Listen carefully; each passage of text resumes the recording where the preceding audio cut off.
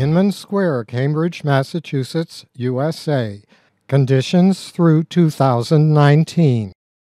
The right hand lane on Cambridge Street westbound is a right turn only lane. The opposite direction also has a right turn only lane, which narrows the other lanes.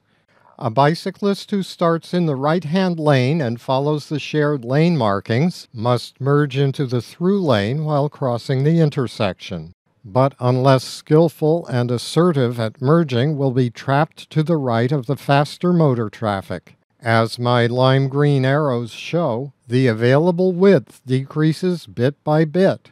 The bicyclist is forced to the left of a bulb out and then into the door zone of a row of parked cars.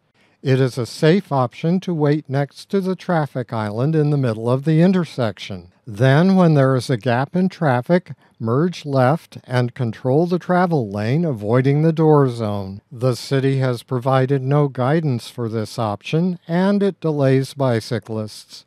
A safe, practical, and legal option is to merge into the through travel lane before the intersection and to ride across in line with the motor traffic. December 7, 2017. This is my route. I'm already in the through travel lane and I happen to be first in line. Motorists are waiting to my right and behind me. The first vehicle behind me is protecting me from following ones. I'm slowing traffic in the through lane, but cars can pass me in the turn lane. If I started there, I'd have to merge left and control the through lane anyway to avoid an unsafe close pass. The Amanda Phillips Ghost bike is on the right.